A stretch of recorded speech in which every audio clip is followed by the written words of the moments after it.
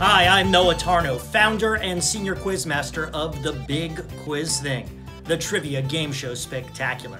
And you know, we've been America's premier provider of corporate and private trivia events for going on 20 years. But these days, it's all about the virtual. Let me show you how it works. Shortly before your event, you're going to be forwarded a version of this are customized virtual trivia instructions. Now, this is a simple document. You'll be giving this to all of your players, all of your guests. It explains to them how the game works. It gives them the link to the game in Zoom. Yes, we use Zoom because it works. And all about our custom digital trivia answer system. More on that in a minute. And we also give you suggestions for how teams can confer among themselves during the event. A thousand and one simple ways to do that. When the time comes, teams log on to that Zoom link and they are greeted by your company's logo. Every Big Quiz Thing event is customized for your event and your event only. And yes, they are greeted by their personal quiz master. The Big Quiz Thing has the finest Quizmaster teams in the trivia business. Not just a guy reading trivia questions, an event professional, expertly trained in game show production.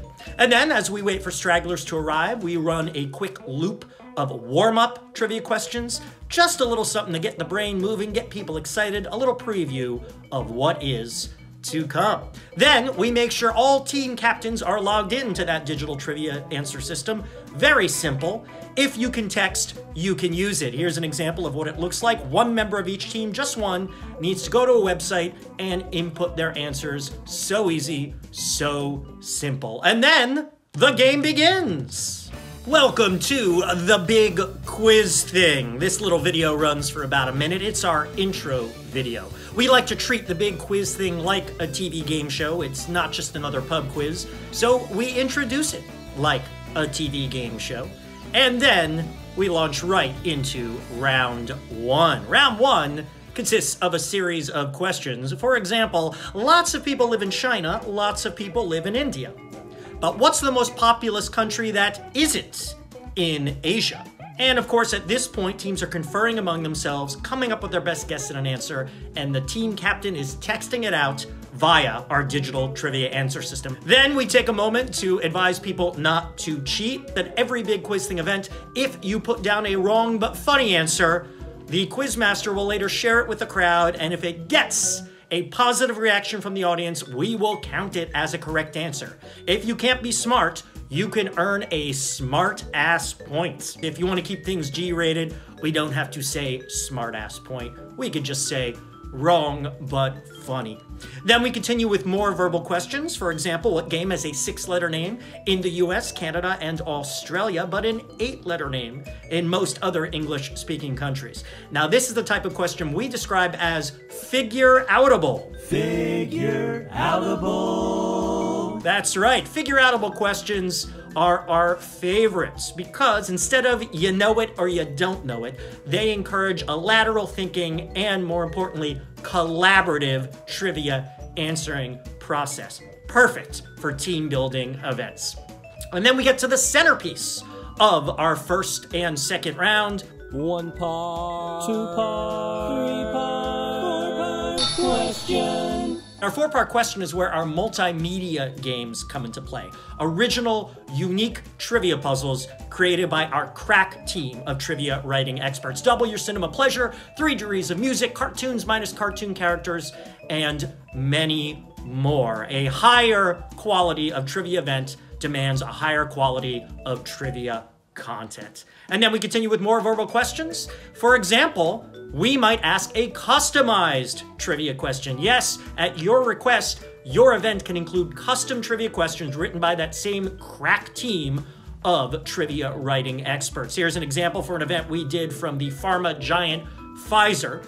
We take the possibly not so interesting information from your company, from your office, and we craft it into fun, entertaining, and often figure outable trivia queries uniquely just for your event. Then, round one will culminate with a two point question. Two point question. Just a bit more challenging and worth double the points. And that would end round one. We segue out of round one, but we don't take a break at this point. We want to keep the action moving. So as soon as team captains have submitted their answers, we come right back with round two, although we do take a moment to reveal the prizes. Yes, some events have prizes. That's up to you. Whatever you want to provide, we can incorporate into the game. And yes, we can advise you on that as well, although we find that honor and glory are the greatest prizes of all. Then we reveal the answers to round one, and that launches us right into round two. Usually a series of questions, much like round one, different of course, still some multimedia questions, still some customized questions at your request.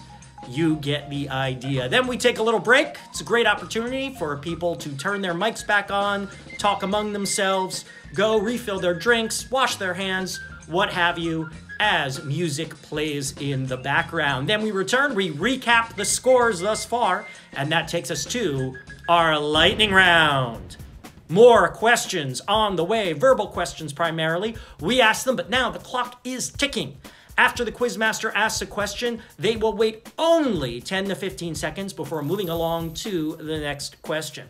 After all the questions have been asked, we don't repeat anything. Instead, we count down one minute on your screen. Teams must submit by the time the clock reaches zero. And yes, some of these questions are figure outable. Yes, they're figure outable. And by the way, folks, yes, smartass points still apply. So the minute countdown runs. Teams have submitted their answers. We take one more super quick break to catch up on the scores, and then we come right back with our final answers, our final scores, and then the buzzer-tastic finale. What happens now is we announce the final scores and we spotlight the top three teams. We turn off everyone's video except the captains of the top three highest scoring squads. Those captains, along with the quizmaster, are on camera and on microphone. And it's a one on one on one game show style showdown to see who is the ultimate master of useless knowledge. After one team captain has answered two correct answers, we declare their team the winners of their edition of the virtual Big Quiz Thing. So, if you want to know more, get in touch with us today at bigquizthing.com. Email us for a personal consultation, and let's get started making all your virtual trivia dreams come true. Visit us at bigquizthing.com, and remember, trivial times demand trivial trivia.